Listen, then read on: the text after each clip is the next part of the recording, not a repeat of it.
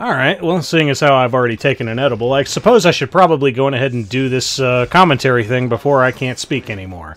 So, for this first match, we're having a wonderful Ran uh, Mercedes. And. Who's the last one? Rimuru.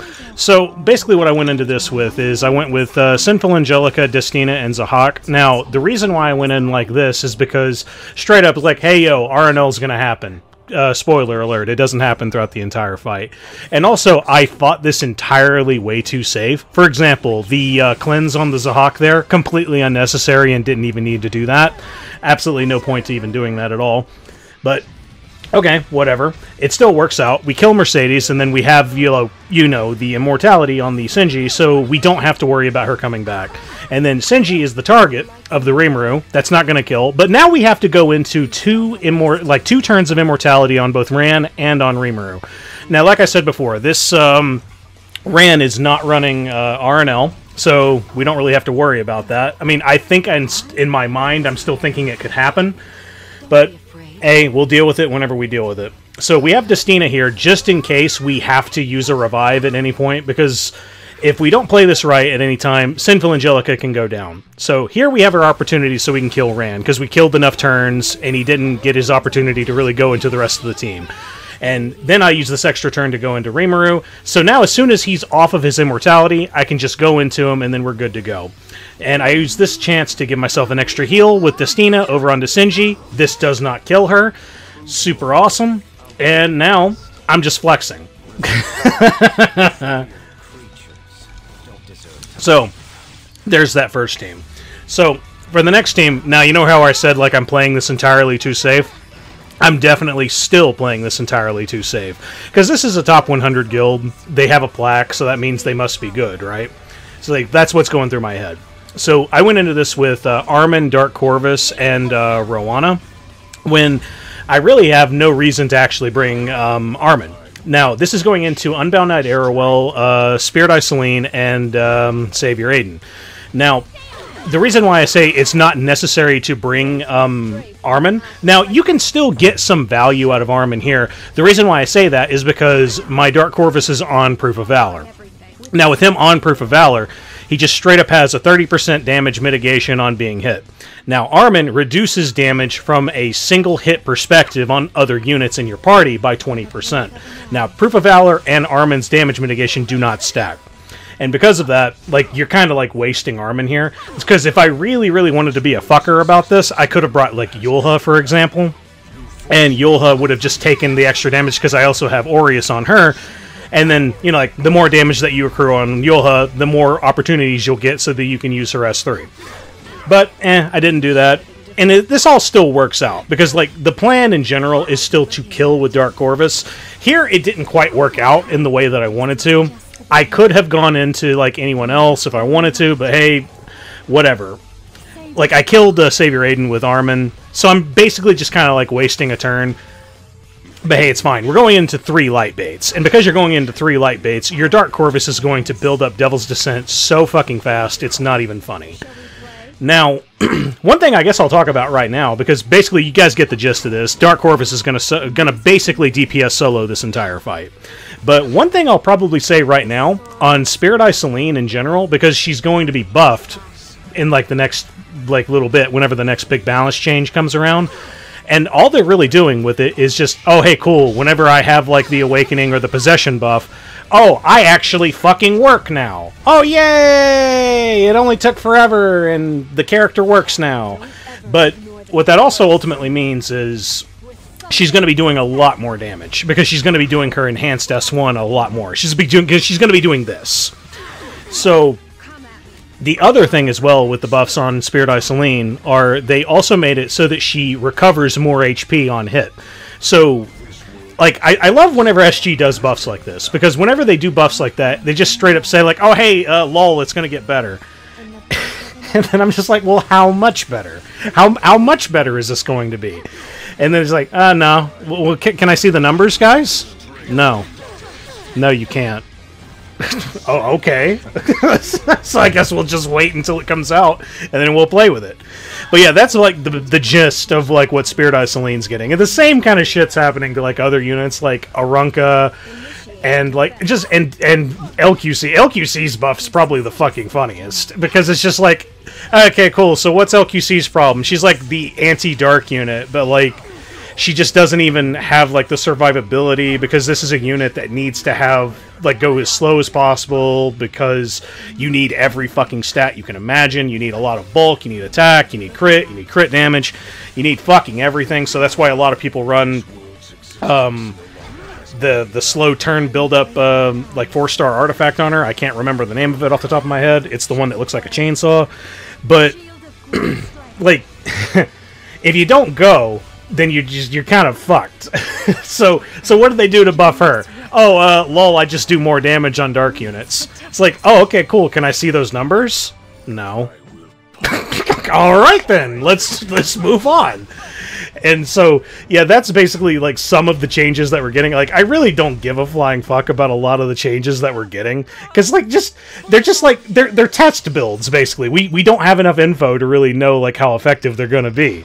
But either way, that was that match. So here's the next one where we're going into a holiday Yufine. Very, very rare you see those on defense. Like high respect to this guild. I don't think I fight Conqueror Lilias once in the entire like guild war, which is amazing actually. But yeah, Holiday Yufine, Lone Crescent Bellona, and LQC.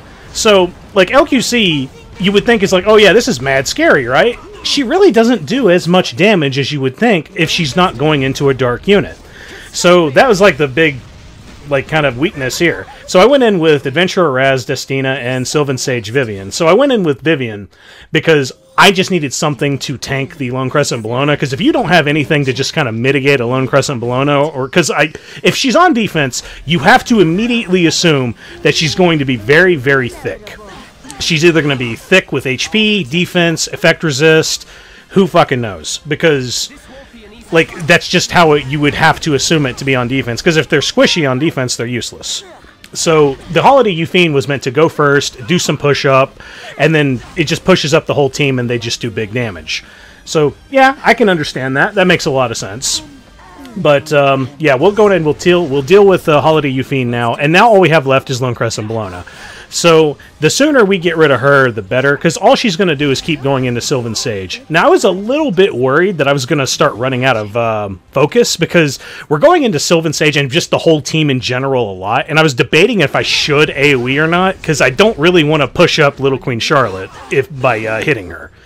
So I just decided, yeah, I'll just keep going into her. I'll keep my souls ready because you know the cool thing about Ras is whenever you have your S2 available and you have souls, hey, that's just free dual attacks. Man, who else can do that? Oh yeah, Conqueror Lilias and Lilias and Cerise and all this other dumb forced dual attack shit. But hey, the cool thing about Ras is, is he can possibly do a death break. So that's what makes him super cool. And yeah, straight up, that little Queen Charlotte doesn't have attack buff, so I'm not really afraid of any of the damage that she's going to deal. So yeah, now that I've dealt with the Lone Crescent Bellona, I can just straight up like throw away this uh, this S3 big heal on Destina because I'm not going to be doing any reviving. I'm just trying to keep myself alive, and now I just go into her. Yeah, that's pretty much this fight. But like I said, like I was talking about earlier with the little the LQC buffs, um, so what's the big thing that she's going to be getting? Oh, I just lol, I just do more damage on dark units, but I'm not going to tell you by how much. so like just no example.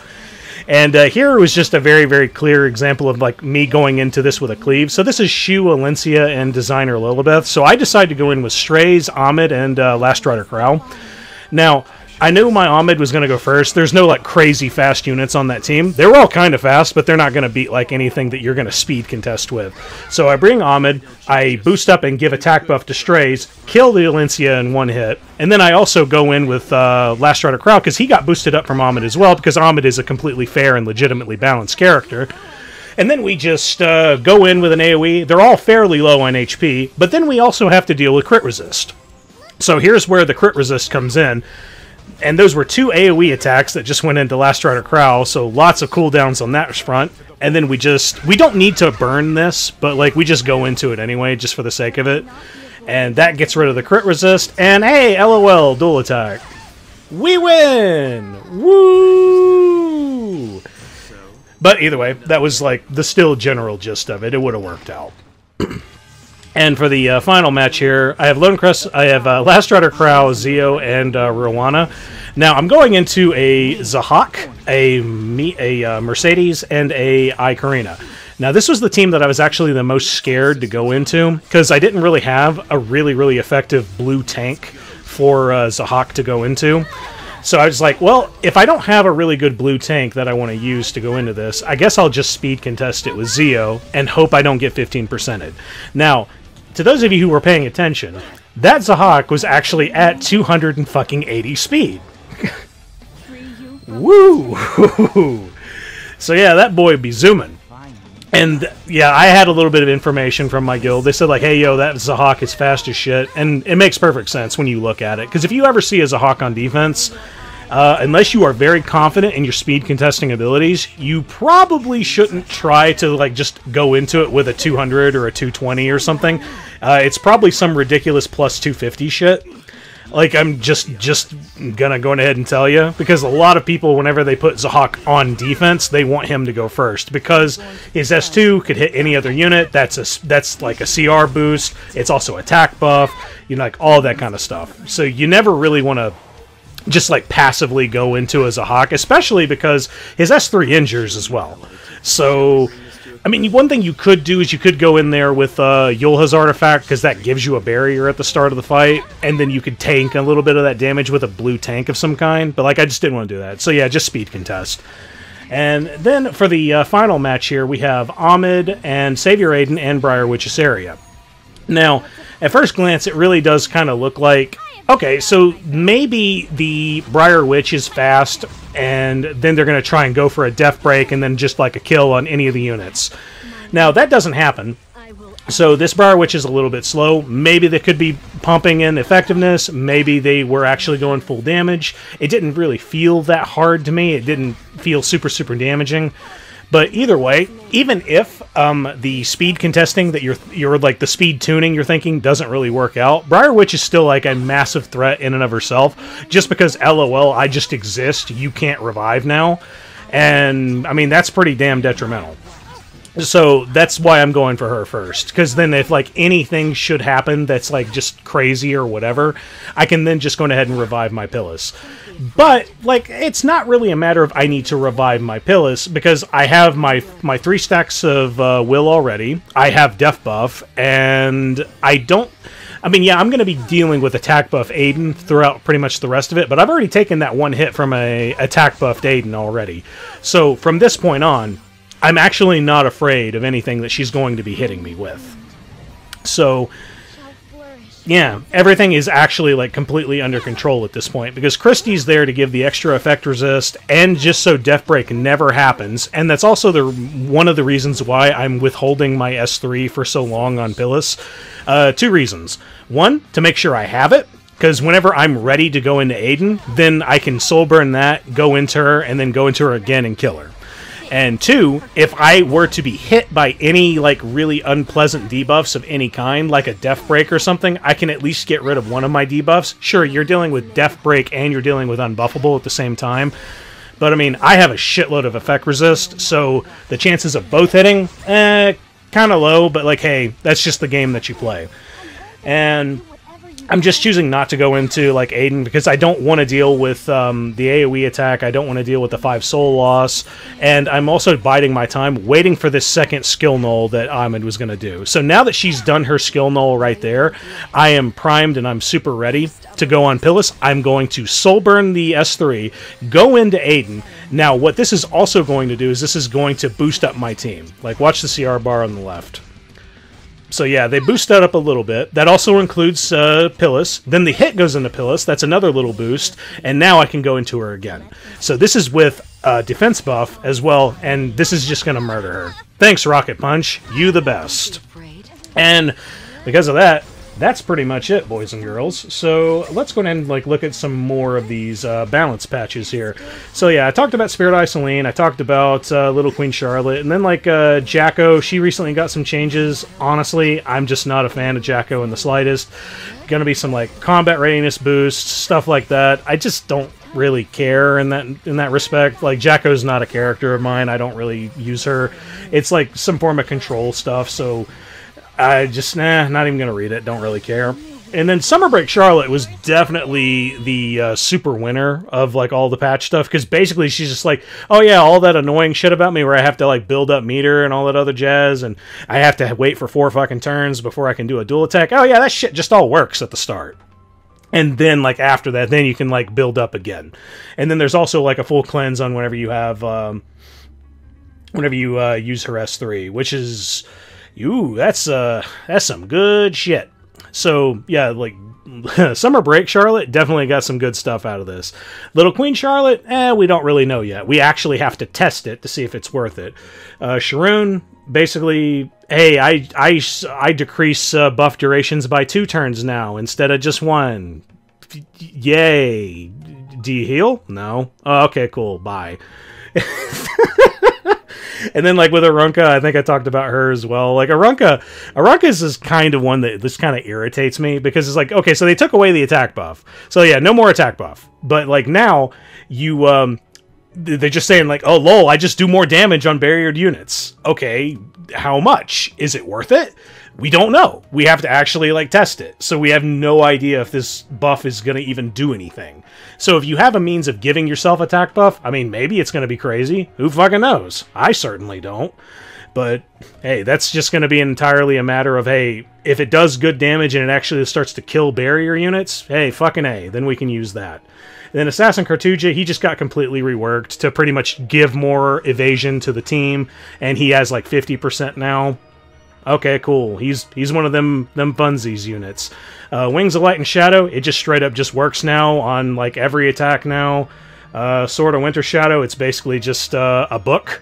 And Iron Fan is one of those really cool ones where you do AoE attacks, uh, you get uh, CR boost. That sounds fun. But hey, I hope you liked this video. If you liked it, go ahead and please leave a like. If you want to see more of my stuff, hit subscribe. Hope to see you soon. Later.